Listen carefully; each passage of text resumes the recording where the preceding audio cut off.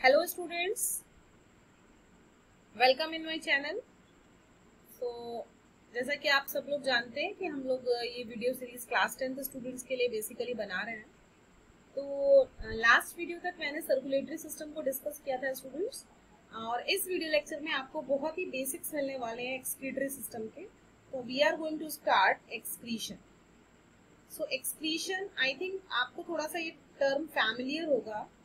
Excretion या हम लोग कह सकते हैं ह्यूमन एक्सक्रीटरी सिस्टम का बेसिक्स है इस वीडियो में। सिर्फ़ हम लोग इस वीडियो में ये जानेंगे कि एक्सक्रीशन होता क्या है कौन कौन से बॉडी के पार्ट्स हैं जो एक्सक्रीटरी सिस्टम या एक्सक्रीशन के लिए रेस्पॉन्सिबल ओके स्टूडेंट्स तो स्टार्ट uh, करते हैं हम लोग एक्सक्रीशन की डेफिनेशन से। सबसे पहले हमें ये जानना ज़रूरी है व्हाट इज़ एक्सक्रीशन एक्सक्रीशन का मतलब क्या होता है? तो आपको मैं बता दूँ स्टूडेंट्स कि ये बहुत ही बेसिक इंपॉर्टेंट प्रोसेस है और जो कि बहुत ज़रूरी है रिमूवल ऑफ़ मेटाबॉलिक वेस्ट के लिए। तो आप ऐसा कह सकते हैं removal of metabolic waste from the body removal of metabolic waste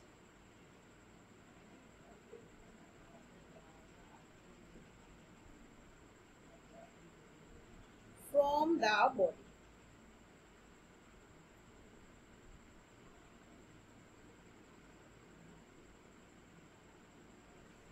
ठीक है? जितना भी हमारा मेटाबॉलिक वेस्ट है, ज़्यादातर मेटाबॉलिक वेस्ट की अगर हम लोग बात करें तो वो कैसा होगा? नाइट्रोजनस सब्सटेंस होगा। Nitrogenous substance you can write this point this is very important जो हमारा मेटाबॉलिक वेस्ट होगा, वो किस फॉर्म में होगा? नाइट्रोजनस सब्सटेंस के फॉर्म में होगा। और उसको हम लोग प्रोड्यूस करते हैं by the breaking of amino तो जो फ़ूड हम लोग डाइजेस्ट होता है, फिर हमारा ब्लड उसको एब्जॉर्ब करता है और हमारी पूरी बॉडी में डिस्ट्रीब्यूट होता है। जब ये एब्जॉर्ब फ़ूड ब्रेक डाउन होगा टिश्यू में तो बहुत सारे टॉक्सिक और पॉइजनस सब्सटेंस प्रोड्यूस होंगे और जिनको की रिमूव किया जाता है और ये हमारे लिए फैटल भी हो सकते हैं मीन्स डेथ कॉजिंग भी हो सकते हैं। अगर इनका कंसेंट्रेशन बहुत ज़्यादा हो जाता है तो हम ऐसा कह सकते हैं, जब टॉक्सिसिटी को रोकने के लिए ये फैटल ना हो, इसलिए हमें ये प्रोसेस ऑफ़ एक्सक्रीशन को जानना बहुत ज़रूरी है और इसीलिए हमारी बॉडी में ये प्रोसेस ऑफ़ एक्सक्रीशन होता है स्टूडेंट्स आप इसको मार्क कर लीजिए। ये मेटाबॉलिक वेस्ट टर्म आप बिल्कुल भी नहीं भूलेंगे, जो कि कंसिस्ट ऑफ़ नाइट्रोजनस सब्सटेंसेस और इसी वीडियो लेक्चर में मैं आपको दूसरा इंपॉर्टेंट टॉपिक बताने जा रही हूँ, बहुत ही इंपॉर्टेंट है, उसका नाम है ऑस्मो रेगुलेशन जब भी हम लोग बात एक्सक्रीशन की करते हैं तो ऑस्मो रेगुलेशन को नहीं भूल सकते हैं। क्योंकि ऑस्मो रेगुलेशन और एक्सक्रीशन दोनों ही टर्म्स बहुत ही इंपॉर्टेंट प्रोसेस हैं, जिसकी वजह से हमारी बॉडी में जो इंटरनल इन्वायरमेंट है ब्लड का, वो कांस्टेंट है। और सेल्स जो हैं कंटिन्यूस चेंज हो रहे हैं इन द बॉडी ओके तो ऑस्मो रेगुलेशन का बेसिक मतलब क्या होता है? What is the meaning of osmoregulation हम लोग जानते हैं।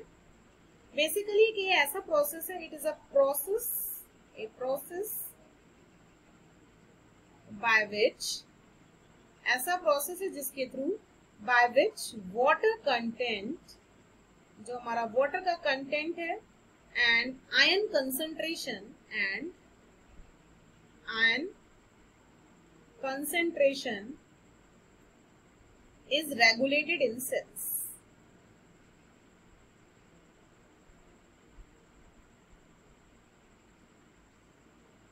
Actually में हम लोग क्या करते हैं स्टूडेंट्स यहाँ पे ऑस्मो रेगुलेशन में? ये एक ऐसा प्रोसेस है जिसकी वजह से वाटर कंटेंट और जो आयन का कंसेंट्रेशन है, उसको हम लोग रेगुलेट कर सकते हैं सेल में।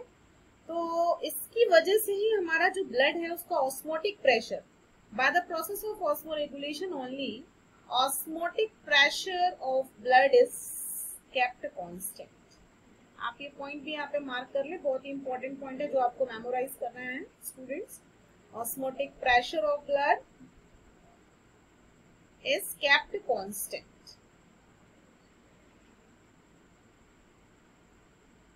अब बात करते हैं कि जो एक्सक्रीशन और ऑस्मो रेगुलेशन दोनों टर्म दोनों ही प्रोसेस इंटरकनेक्टेड है नो no डाउट और ये साइड बाय साइड हमारी बॉडी में होंगे जितने भी हायर वर्टिब्रेट्स हैं लाइक हम लोग ह्यूमन बींग्स की बात करें तो किडनी दोनों ही फ़ंक्शन को परफॉर्म करेगी एक्सक्रीशन भी और ऑस्मो रेगुलेशन भी कभी कभी क्वेश्चन एग्ज़ाम में ऐसा आ जाएगा कि name the organ which is responsible for both these function तो किडनी एक ऐसा स्ट्रक्चर है जो कि एक्सक्रीशन भी करेगी और ऑस्मो रेगुलेशन भी करेगी.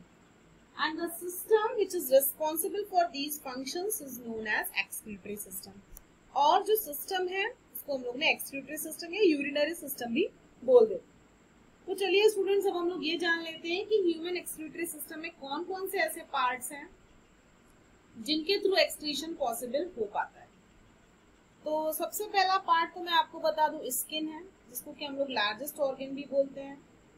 लंग्स हैं गैशियस जो होगा वेस्ट होगा वो बाहर आएगा।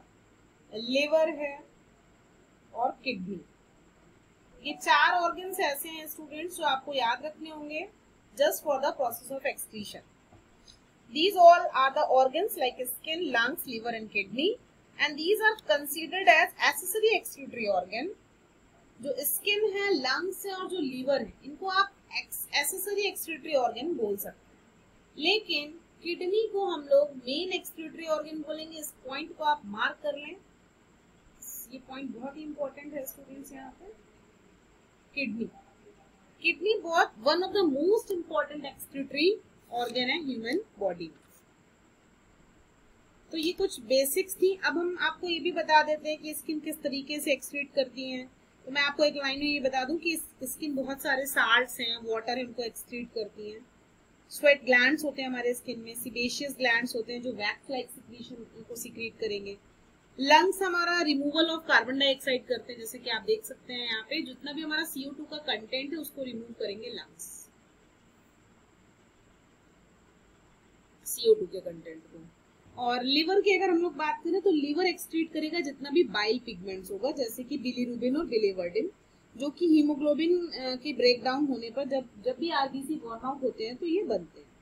और इन्हीं बाइल पिगमेंट्स को पोर किया जाता है ड्यूडिनम में as a part of bile and they are removed along with the faeces और आपको बहुत इंपॉर्टेंट बात मैं बताने वाली हूँ कि जो लीवर है वहाँ पे ही यूरिया बनती है, यूरिया साइकिल लीवर में ही चलती है। तो आप देख सकते हैं यहाँ पे urea is the product which is found in liver urea is formed in liver by the reaction of ammonia with CO2 और किडनी इंपॉर्टेंट ऑर्गन है ये, आप सभी को पता है स्टूडेंट्स।